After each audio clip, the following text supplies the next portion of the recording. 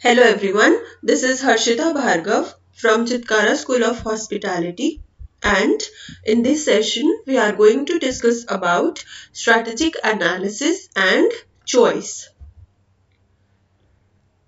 Now the process of strategic analysis and choice that means we have to analyze various strategic alternatives available to an organization and choose among those available strategic alternatives so that we can implement strategies in time. And this process of strategic analysis and choice comes under the analytical framework. And this framework comprises three stages. Stage 1 is input stage, stage 2 is matching stage and stage 3 is decision stage.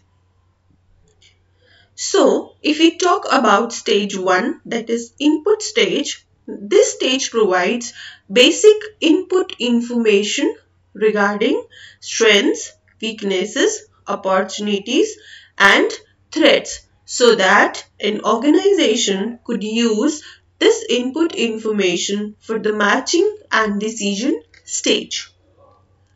Now comes stage 2 which is matching stage.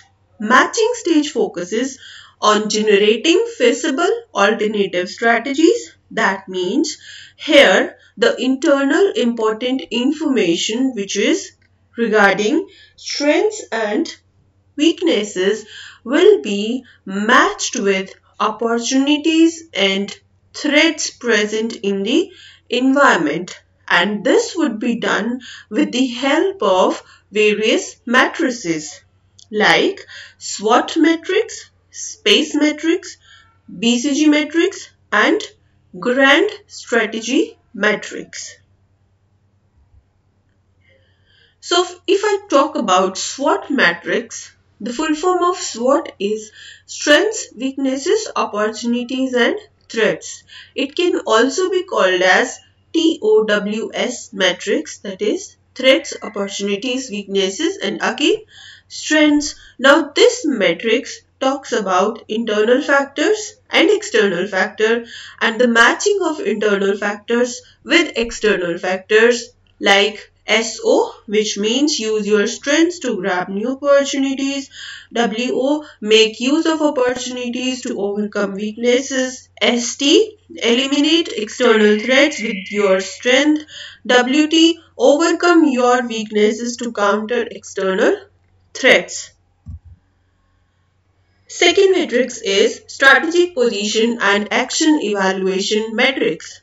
This matrix talks about financial strength of an organization, the factors which are responsible for stability in the environment, competitive advantage and the strength of the industry. Next is Boston Consulting Group matrix. This matrix talks about the market share and market growth of an organization and this would be analyzed with the help of stars, question marks, dogs and cash cows. Here, star represents those organizations which are having more market share with more market growth. Question marks represents those organizations which are having high market growth and low market share. Cash cows represents those brands, those companies which are having high market share and low market growth and dog represents those companies which are having low market growth as well as low market share. So with the help of this BCG matrix, we are able to locate or position different brands or different companies among these four quadrants. Grand strategy matrix talks about mixture of different strategic alternatives which are available to an organization. Now, it depends upon the situation and circumstances of an organization that how it will use the combination of different strategies available to an organization. The last stage is decision stage which talks about choosing the correct and right strategy so that it can be implemented in time and in right manner. We can also say that strategic decisions are concerned with the scope of organizations like stability, expansion, retrenchment and combination. And these decisions are likely to be concerned with long-term direction of the organization. So this was all about strategic analysis and choice. Thanks for watching.